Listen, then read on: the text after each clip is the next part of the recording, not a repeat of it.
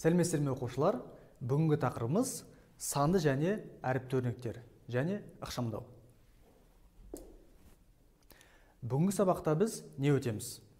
Әріптердің берілген мәндері бойынша әріпті өрнектердің мәнін табуды үйренеміз және ықшамдау тақырыбын жалғастырамыз. Алдымен өткенге шолу жасап бір қайталап алайық 21 мен 5-тің қосындысының екіге көбейтіндісі. Бұны біз санды өрнек деп атаймыз. Себебі өрнегімізде тек қана сандар қатысып тұр. Келесі төрттің x пен 12-нің айырымына көбейтіндісі. Бұны біз әріпті өрнек деп атайтын едік. Себебі өрнегімізде x деген әріп қатысып тұр. X деген әріпті біз қалай атаймыз математикалық тілде? Оны біз x-ті айнымалы деп атаймыз иә? Яғни x-тің астында бір сан жасырынып тұр деген сөз. Келесі 23 а б. Бұл жерде 23 дегеніміз ол коэффициент. Енді тағы да еске түсіре кетейік. 23 а және б ның арасында көбейту бар иә? Бірақ ол жасырын көбейту біз айттық ондай кезде өрнекте біз көбейтуді жазбаймыз деп. Жақсы. Тағы да еске түсірейік жаңағы дәл x сияқты а мен б әріптерін біз математикалық тілде айнымалы деп атаймыз. Ал а көбейту б деген тағы да бір әріпті өрнек кездессе онда да біз арасындағы көбейтуді жазбаймыз. А б деп айтсақ болады. Тағы да бір мәселе оқушылар мына аның алдында және б ның алдында коэффициент бірге тең. Бірақ біз оны бір а бір б деп айтпаймыз. Бір деген коэффициент жазылмайды. Енді балалар есте сақтайық. Бірдей әріптер бір бірімен қосылады және азайтылады. Одан кейін көбейтіледі және бөлінеді. Бір мысалдар қарастырайық. Біз айттық иә бірдей әріптермен жұмыс істейміз деп. Мысалы а қосу а тең екі а деп жазуға болады. Себебі ол бірдей әріптер. Ал біз айттық бірдей әріптер болса онымен біз жұмыс істеген кезде өмірден кез келген бір затты айтсақ болады иә. Айтайық асық болсын. Бір асық қосу бір асық тең болады екі асық деп жазуға болады. Тағы да еске түсіремін. Бұл жерде аның алдында бір деген коэффициент бар иә? Бірақ ол жазылмайды. Бірақ біз білуіміз керек ол бір а деген мағынаны білдіреді бізге. Тағы да бір мысал. Б және б әріптері. Бірдей ғой. Демек онымен де жұмыс істеуге болады. Яғни азайту кезінде. Айталық 3b азайту 2b бұл жерде бір мысал келтірейік. Бауырсақ болсын мысалы иә? Үш бауырсақ азайту екі бауырсақ. Қалатыны бір бауырсақ. Дәл осылай сандармен, ә, сандармен әріптермен жұмыс істеген кезде қорықпай келген бір затты өмірден елестетсеңіз болады. Арға айттық біз иә? бірде әріпті көбейтуге де болады деп айттық. Мысалы с көбейту с тең болады с квадрат. Квадрат деген еске түсірейікші? Квадрат дегеніміз не еді? Кез келген заттың өз өзіне көбейтіндісі. Мысалы бес көбейту бес 25 иә?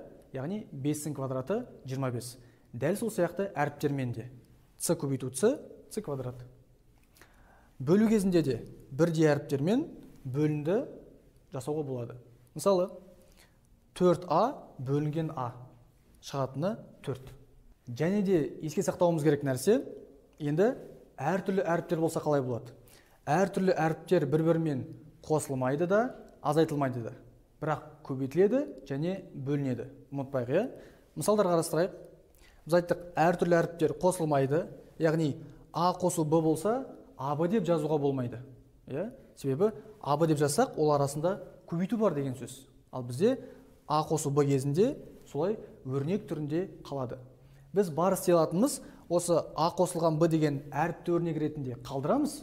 Немесе қасиетке байланысты б қосу а деп орын ауыстырып жасасақ қана болады.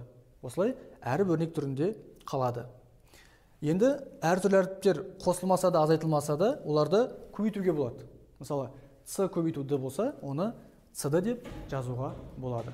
Әрі қарай енді әріптер мен сандармен жұмыс істесек. Әріптер мен сандар ол да қосылмайды және азайтылмайды. Бірақ көбейтуге болады және бөлуге болады. Түсінікті болу үшін мысал қарастырайық. Әріптер мен сандар дедік. Екі қосу б. Екі б деп жазуға болмайды. Себебі екі мен б деп екі б деп жазсақ екі мен б ның арасында жасырын көбейту бар болып қалады. Ал бізге қосу керек. Дәл әртүрлі әріптер сияқты біз екі қосу б-ды дәл сол өрнек ретінде қалдырамыз немесе б қосу екі деп қана жаза аламыз көбейтуге болады деп айттық. Сандар мен әріптерді көбейткен кезде мысалы 6 көбейту д болса 6 д деп жазуға болады. Ал өзім тексеріп көрейік. 6 д деген ол қандай өрнек? Әріпті өрнек және 6 дегеніміз ол коэффициент д дегеніміз ол айнымалы. Енді осы айтылған ережелерді есте жақсы сақтау үшін өмірден бір мысалдар келтірейік. Айтайық. Бір балмұздақ қосу бір саңырауқұлақ бұл жерде екі саңырауқұлақ немесе екі балмұздақ болып кетпейді ғой. Дәл солай бір балмұздақ бір саңырауқұлақ ретінде қалады. Дәл сол сияқты. Мысалы екі ара қосу бір құмырсқа. Бұл жерде де екеуі әртүрлі ғой енді. Мысалы үш ара болып кетпейді ғой немесе үш құмырсқа болып кетпейді. Дәл осылай екі ара және бір құмырсқа ретінде қалады. Тапсырмаға көшейік. Теңдік тура болатындай етіп бос орындарды толтырыңыз. Яғни жаңағы үйренген қасиеттерімізді барлығын қолданып есепті шығарайық. Бұл жерде әрине не еске түсіреді? Бұл жерде көбейтудің қосуға қатысты үлестірімділік қасиеті еске түседі иә? Ал бұл жерде жақшаның сыртында көбейткіш ретінде бізде бір бос орын тұр. Ол жерге неше қою керек? Бұл жерде бізде көмек ретінде мәні жазылған иә? Яғни мына сыртында тұрған көбейткіш қазір әрқайсысымен не істеу керек? Көбейтілу керек. Сонда нешені x-қа көбейтсем 8 x шығады иә? Сондай сұрақ қойып көрейік. Әрине бұл жерге неше қоямыз? 8-ді қоямыз. Сонда 8 көбейту x болады 8x ары қарай тексеріп көрейік дұрыстығын. 8 көбейту 4 32 демек бұл бос орынды біз дұрыс қойдық. Келесі есеп. Бұл жерде де бізде жақшаның сыртында көбейткішіміз тұр. Бірақ көбейткішіміз бізге белгілі үш бізге бос орындар қай жерде тұр? Мына есептің мәнінде тұр. Енді бұл жерде орындау үшін қарапайым мына үшімізді жақшаның ішінде тұрған 11-ге де y-қа да жеке жеке көбейтеміз. Сонда 3 көбейту 11 неше болады? 33 азайту таңбасын жазып қоямыз. 3 көбейту y неше болады? 3 y келесі. Бұл жерде бізде жақшаның ішінде қосылғышымыздың біреуі белгісіз болып тұр. Бірақ оны біз мына мәніне қарап таба аламыз. Ол үшін сұрақ қояйық. Төртті нешеге көбейтсем? 16 х шығады.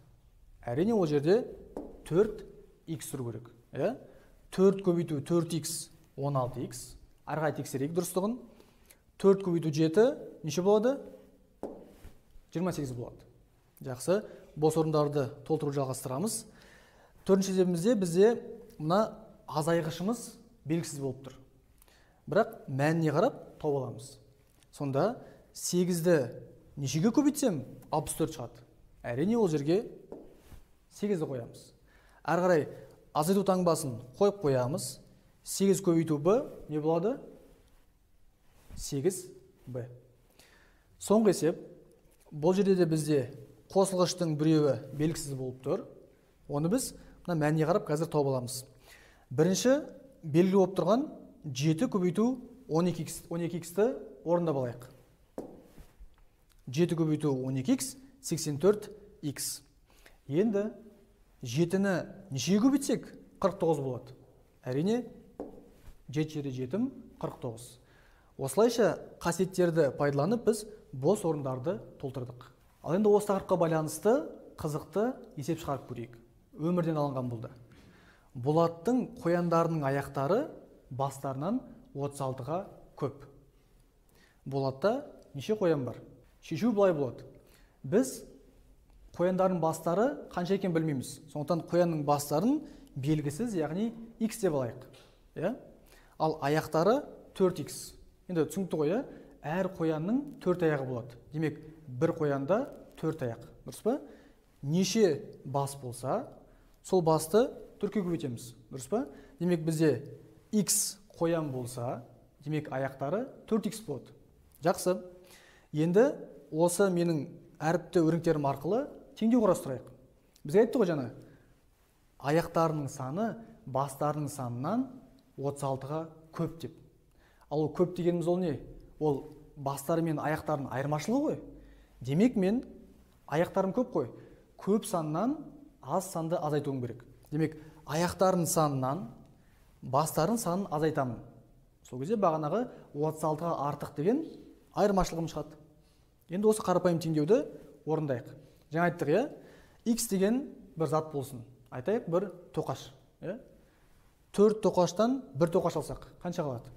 Үш тоқаш тең болады 36 енді x табу үшін 36-ны мына үшке бөлеміз. Сонда x тең болады 12 ал x деген ол біз басында не деп алдық x-ті әрине біз басында x-ті қояндардың бастары деп алдық. Енді бір қоянда бір бас болса демек 12 бас дегенім сол 12 қоян деген сөз. Жауабы 12 қоян.